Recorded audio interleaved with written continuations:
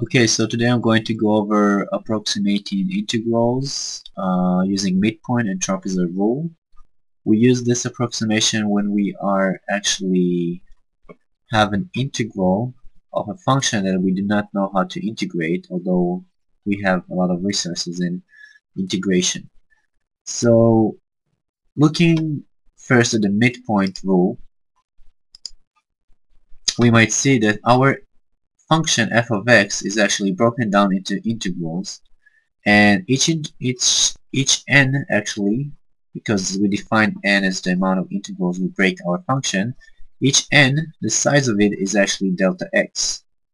The width of the n is equals delta x.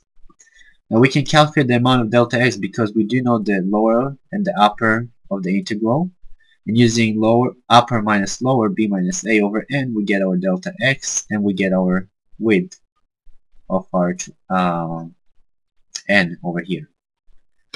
So in midpoint rule as you see we actually approximate the the integral and the number that we'll get in the end is actually approximation to the actual number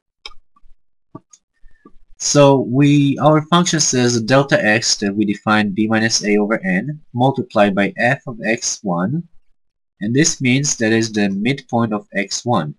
to find the midpoint of x1 we actually need to find what is delta x over 2 and this is this our delta x over 2 and the first point that we start from is this point x1 it is actually a our starting point plus delta x over 2 and this will be our x1. From this point to get to the second point we actually just add 1 delta x. From this point to get to the, to the third point we actually add 2 times delta x and so on. So we actually have a pattern here. The first point in midpoint that we start with will be a little bit higher than the point here, than the A. The last point in the midpoint rule will be a little bit less than the B you will see that once you do the midpoint rule, you will have the same amount of x's as your n's. Meaning if your n is equal 4, you will have 4 times x's that you plug in the function and you find the result. Going on to trapezoidal rule, as you see we divide our function into ends as well. However, each one is a trapezoid instead of just midpoint. In trapezoid rule, same as in end, is in midpoint, we actually find our delta x in the same way. Delta x is b minus a over n. Uh, usually the b and the a will be given and the n will be given too. If it's not, you just choose an n. Uh, in this case, in midpoint and trapezoidal, it doesn't really matter. In Simpson rule, you should have an n that is uh, 2, 4, not an odd number. In trapezoidal rule, as you see, we have our delta x, and here our x of 0, our starting point that we'll plug in the function, will be actually our a. So if our a is 1, this will be 1. If our a is 0, this will be 0, and then we plug it in the x of the function.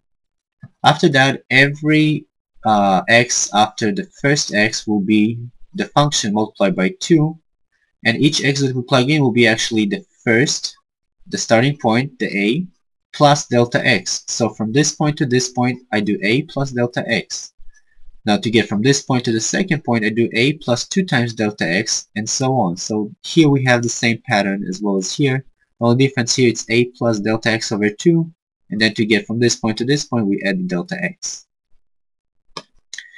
The last point in the trapezoid rule will not have the 2. So as you see, only the first and the last will not have the 2 before the function and you will see as I said in midpoint you have this let's say n is equal 4 you have 4 times putting the x into the f of x. So here you have n equals 4 you actually will have 5 times putting the x into the f of x.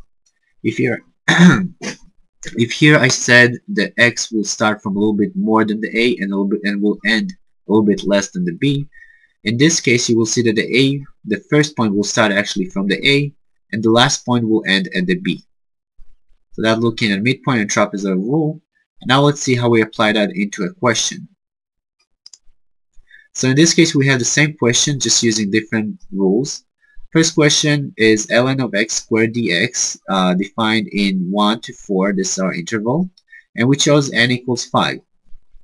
first we go and calculate the delta x. It's b minus a over n. That's 4 minus 1 over 5. That gives us 3 over 5. It's actually 0.6. Now because it's a midpoint, I'm, I'm interested to know our delta x over 2. And in this case, it's 0.6 over 2 gives us 0.3. Plugging in all our values in the function in the equation that we have over here, delta x 0.6 multiplying, start the parentheses.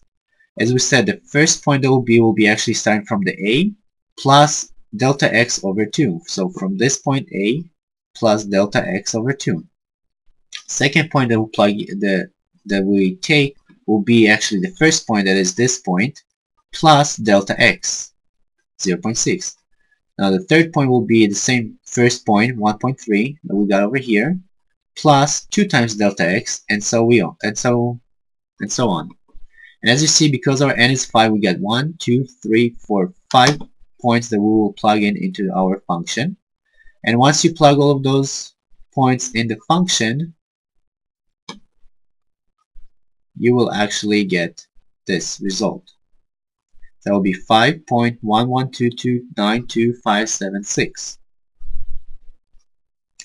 Now in this case, we're using the mid the trapezoidal rule, same function, same n, delta x will be the same.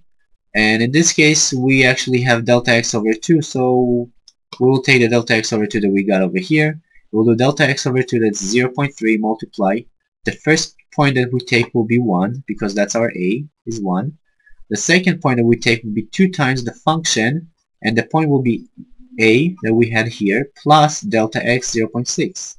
Now the, the third point that we'll take will be 2 times the function, 1 plus 2 times delta x, and so on.